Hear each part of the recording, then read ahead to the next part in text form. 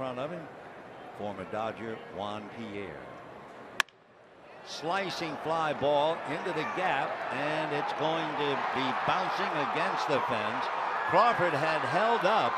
Now he's on his way to the plate. He will score on that long slicing double by Schumaker, and the Dodgers take a two to nothing lead.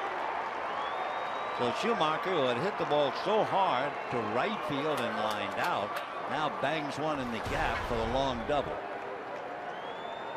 And again, only the speed of Crawford.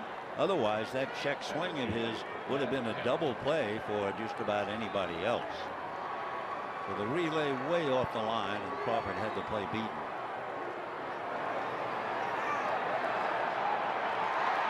So Crawford's speed is promptly cashed in.